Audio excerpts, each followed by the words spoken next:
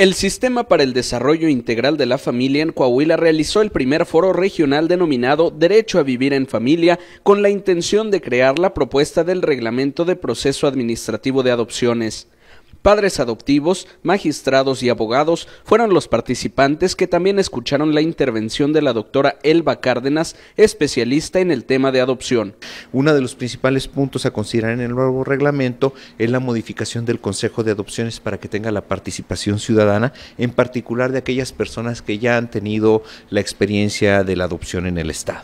En donde se explique claramente quiénes conforman el Consejo, qué hacen, eh, cómo se selecciona a los pequeños, qué características, qué requisitos, qué estudios se deben de plantear, cómo son las primeras convivencias, el encuentro con los padres adoptivos y los pequeños, qué observan los psicólogos, cómo son los seguimientos. Los foros se realizarán en diversos municipios de la entidad. El reglamento podría estar listo dentro de un mes. Con imágenes de Antonio Vega para RCG informó, es Saúl García.